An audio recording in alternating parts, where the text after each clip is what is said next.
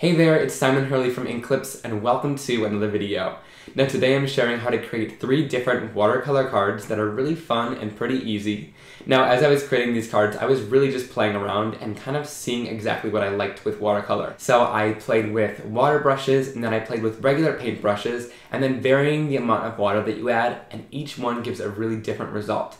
So although I'm doing pretty simple watercolor in today's video, hopefully you guys can learn a little bit from the different techniques that I did, and I sped it up, but I tried not to cut it down too much so you guys can really see my process. So uh, today I'm using the new Altenew watercolor set to do so. This has 36 pans in it. And I also wanted to share on the inside lid, I created a little swatch chart. I didn't share this in the actual video, but I created the swatch chart to match the colors that are inside here. So you can see exactly what it's going to look like before you put it on your project, which is really nice to do and be able to know before you um, get started with your watercolors. So without further ado, let's jump right on into the video. Okay, so like I said, I'm using the new 36 Altenew watercolor set. Now I wanted to quickly share the packaging here because I thought it was just awesome and I'm a sucker for good packaging.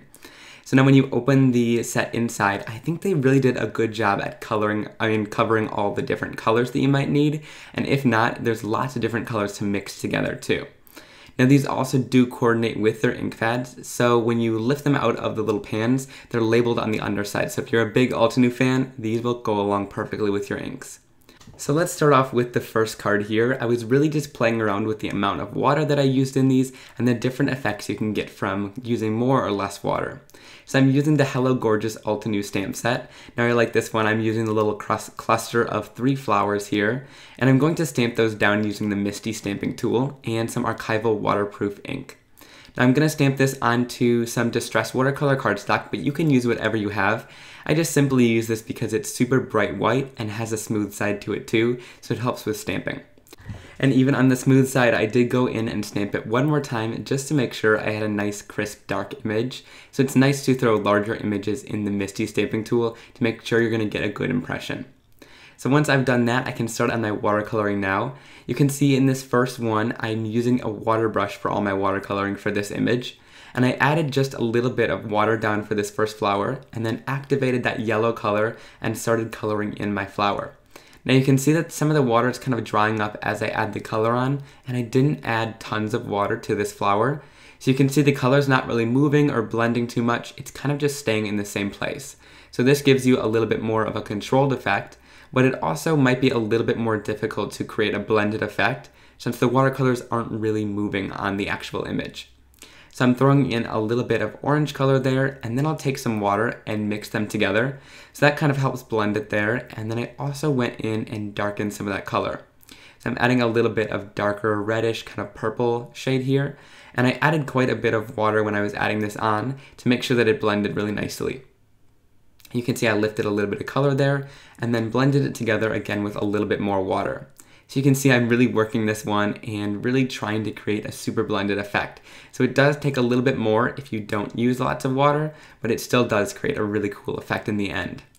Now for this second one, I started off with, I don't even think any water, and I just started adding that pink color down and then blended it out with a little bit of water here. So you can see that color really didn't move much at all. And then I added lots of water to this bottom portion after I realized that. And you can see that this color is moving quite a bit more and you can really see the color kind of flowing on the sheet there. Now I get a little bit nervous when there's all that water on there and so I blot it off a little bit, but you definitely want lots of that water there because it'll really help the image blend. Even if it might look like a hot mess in the right in the beginning, um, it does turn out really nice in the end. So you can see the colors moving quite a bit there, and then I'll bring in some more water to kind of blend them together. When you're watercoloring, water is your friend, not your enemy. Even though it seems like you have less control when you add more water, it kind of does the work for you, which is really nice. Now I'm throwing in a little bit of yellow there, and then I'm just going to kind of stop while I'm ahead on that one. And then for this last one, you can see I added a huge puddle of color and I mean of water. And I thought that was going to be a bad thing at first, but I brought in this orange color here, or this kind of reddish color, and you could really see that color moving quite a bit. Now it looks like it's not to create, you know, a great effect in the end, and I think I might even have blotted it up a little bit after I was done. But I would definitely leave this. It doesn't look perfect right now, but um, you know, later on it dries and creates a really smooth effect since the blending is there.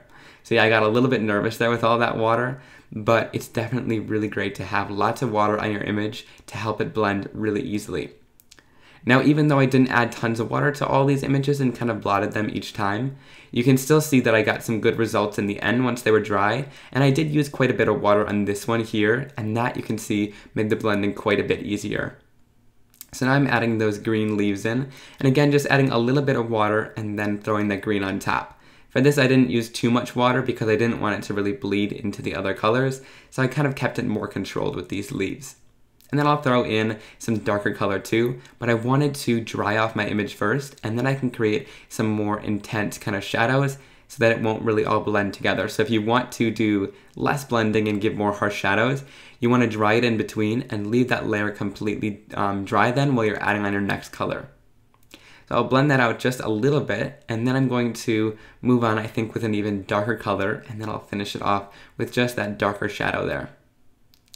So once I've added that color in, I'm going to heat set that to dry it, and here is how my image looks. So I really like how this looks once it's done, and you can kind of tell the variations of water giving different results, but I think they all still turned out pretty cool in the end. So now I'm going to go right around this image with my scissors and cut it out with a little bit of a white border. And I'm leaving um, one side to be white too, so this creates a little bit of contrast when you add it onto your card. So I added it onto this Ocean Mist card base by Gina K um, using some foam tape. And then I'm going to use the Sending Love stamp. I think this is from an Altenew set, one of the ones that we used.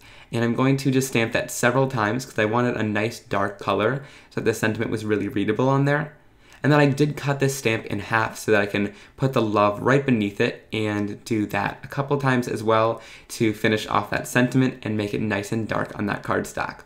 So this MISTI comes in handy when you're doing this if you want to kind of intensify in colors like this. So here's that finished card. I really slowed it down here, but I really like how that watercolor looked, and playing with the different amounts of water is really fun to get different effects.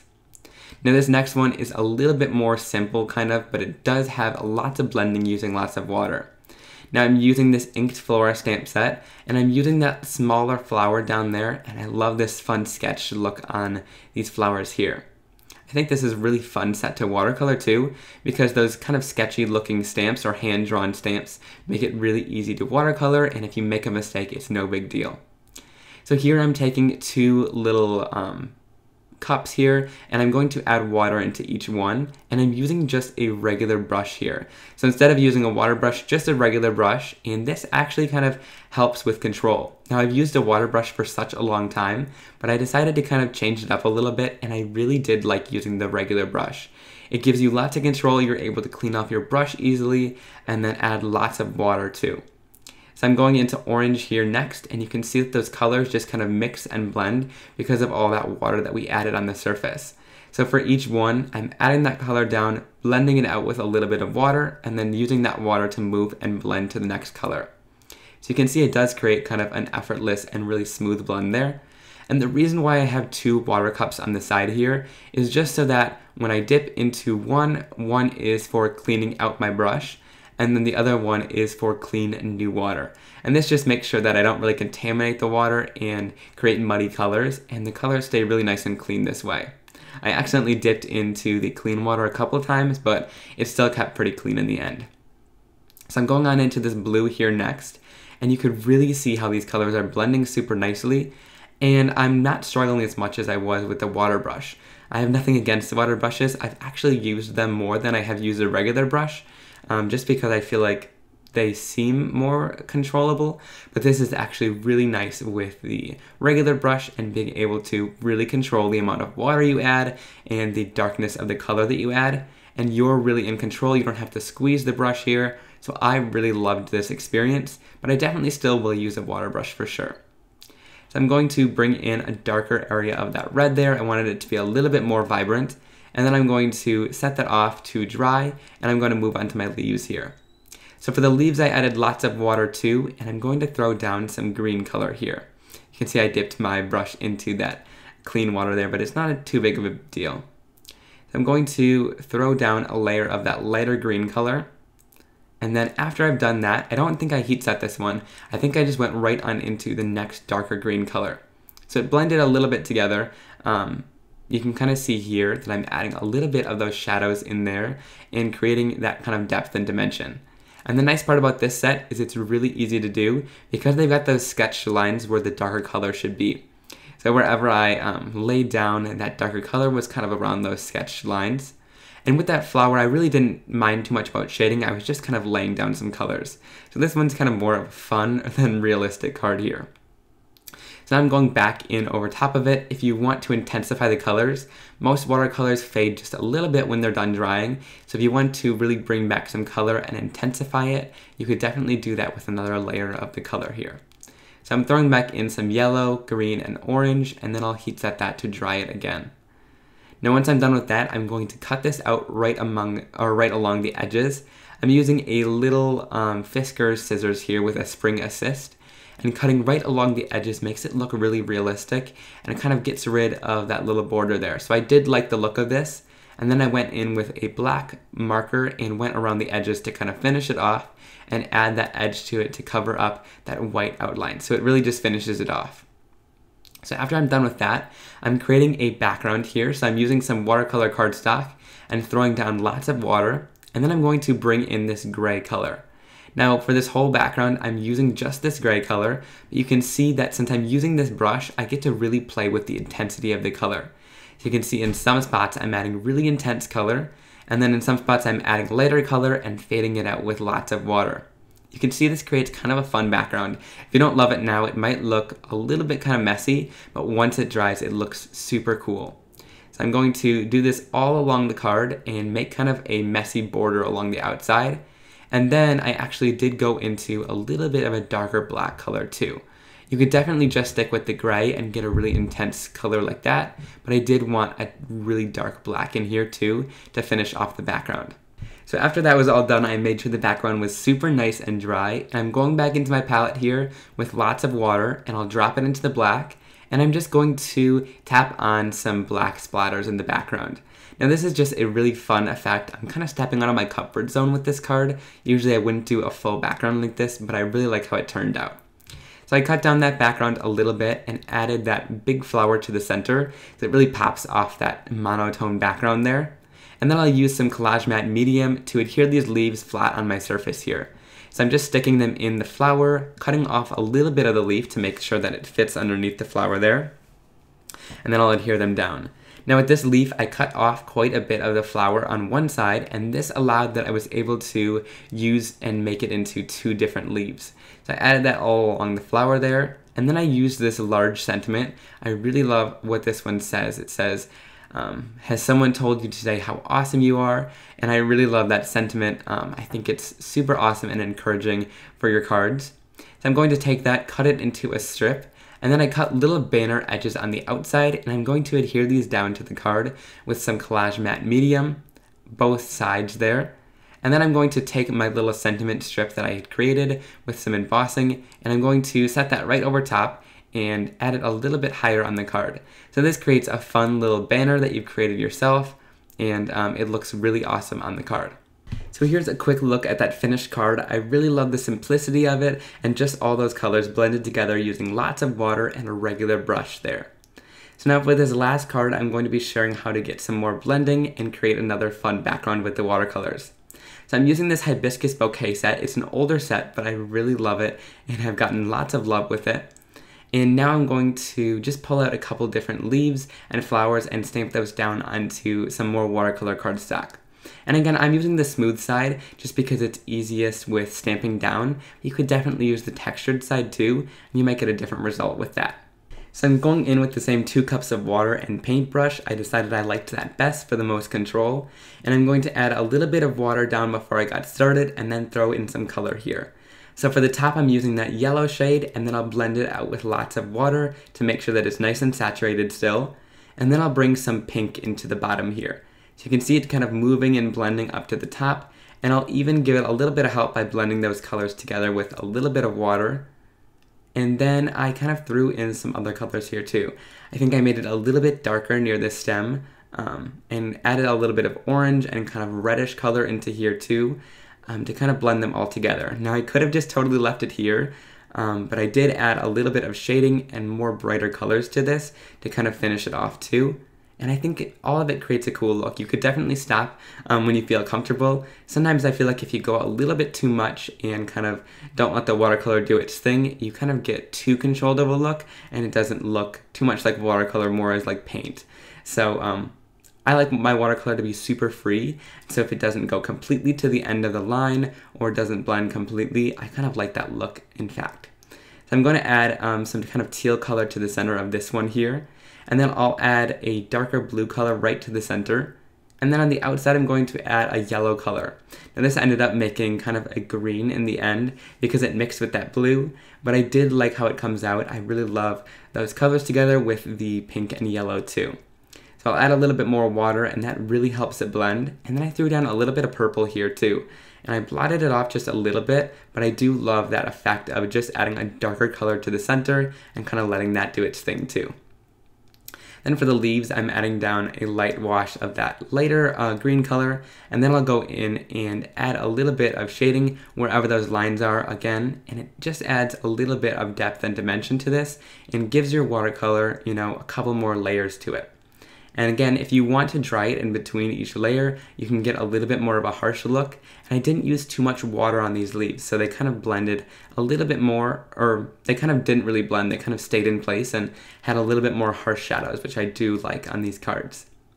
So once I'm done with that, I'm going to go out and cut these right along the edge. Now I didn't use a black marker for this because some of those lines aren't really like finished and completed. It gives a really sketchy look. So I just decided to leave it white on the edges.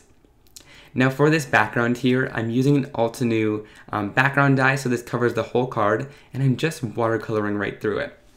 Now this creates kind of a cool effect because if you add more water to it, you get lots of water and some of it will seep underneath the stencil. And if you add less water, you get that darker, more vibrant color and none of it will really seep through.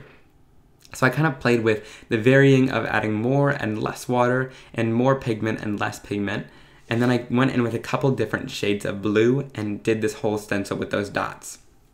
Now it's also not going to be perfect um, because you're using a brush to go through it, but I kind of wanted that sketchy, more watercolor look because it is a watercolor card and it'll coordinate perfectly with those flowers. So then I went into a darker blue here and brought that color in. And again, with some of them I let it seep under the edges on purpose, and some of them I just made sure to leave it nice and dark and saturated.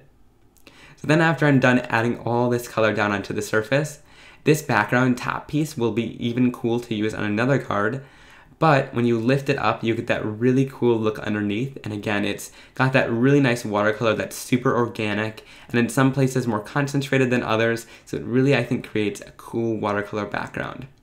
So once I'm done with that, I'm laying down all my flowers um, kind of in the sections where I want to use them and kind of making a little bouquet on the card here.